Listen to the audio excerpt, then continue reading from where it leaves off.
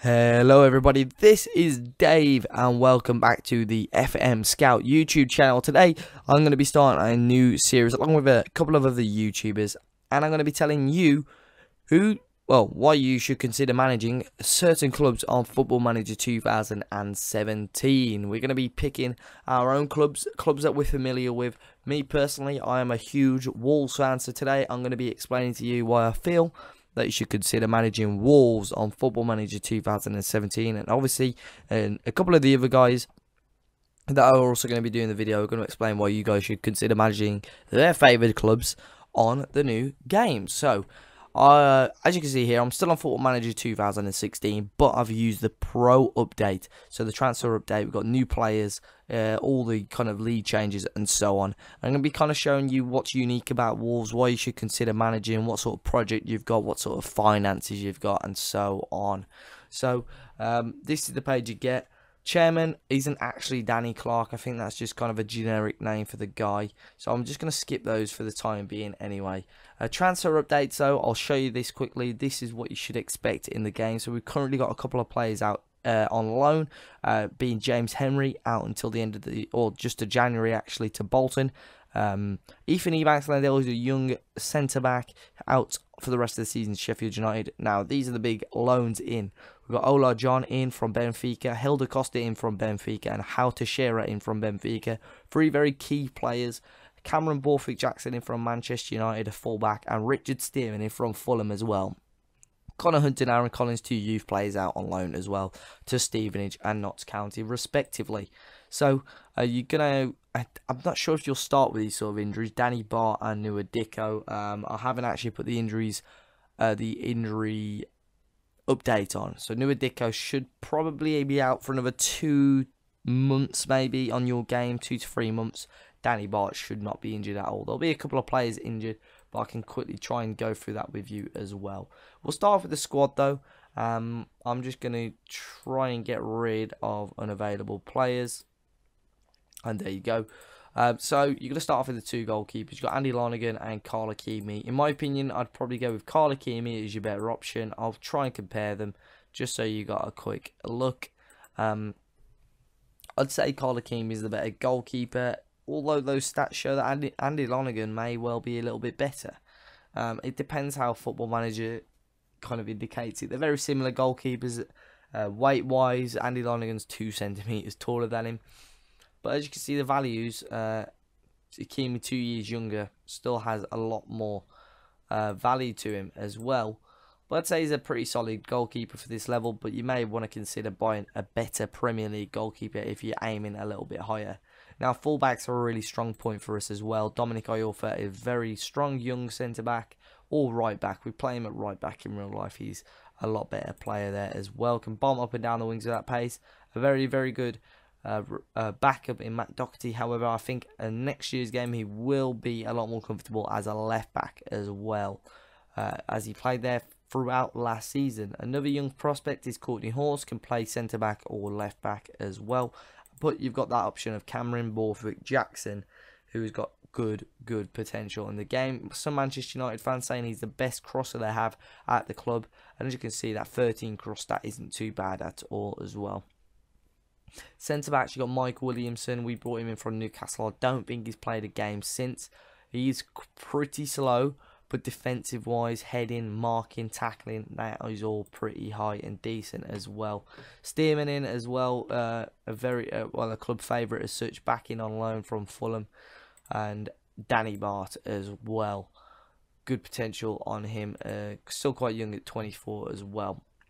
Now, central midfielders, quite a lot of these, so you may want to try and offload a couple. Dave Edwards um, has been a real loyal servant to the club. You may want to offload him if you're not going to play with a more attacking midfielder. And he's getting on. Well, I'm not going to say getting on. He's still 29, but there's still a lot younger central midfield options. João Teixeira, who I'm, I'm, guessing may have a bit of an upgrade on next year's game as well, the young Portuguese midfielder on loan from Benfica. You've got Lee Evans again, who are probably loan out, not quite ready for championship football, but still got pretty good potential on him there. Uh, Jack Price, still again young, but he, I feel he's ready for championship football. Uh, passing decent, I think that'll get a bit of an upgrade along with kind of composure and so on as well. So that's not bad at all. Other players, uh, I'll quickly go through Conor Coady. You got Romain Saiss, who I'd say is probably one of the better central midfielders at the club, and Prince Oniange as well, who can play as a defensive midfielder or centre back if you're in desperate times. I missed a big fullback as well, Silvio, who has huge, huge quality on this game, possibly a Premier League quality as well. Moving on to wingers, you've got Jordan Graham, Jon Dadi Bodvarsson. I think Jordan Graham will be out injured for a number of months at the start of FM17, along with uh, Eva, um, Mikel Jairo. Uh, this guy who is all, already injured, four to six months on this game, but I think he'll be out possibly for a similar amount of time as the new game comes out as well.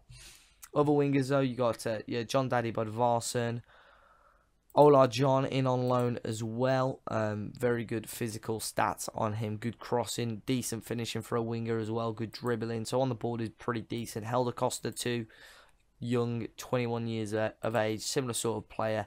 And the big man, Ivan Cavaleiro, I think he's going to be your best player. He's going to bang in assists and goals for fun, especially in the Championship. You're going to want to keep hold on to him. We've got him on a five-year deal, so his contract won't expire till 2021 anyway. So you're quite lucky on that front. Striker wise, I'd really recommend getting a couple of strikers in already. You've got Nouha Dicko, who will be injured for the first part of the season, unless Jon Dadi Bodvarsson gets a significant upgrade on the game. He's a very, very good striker in real life.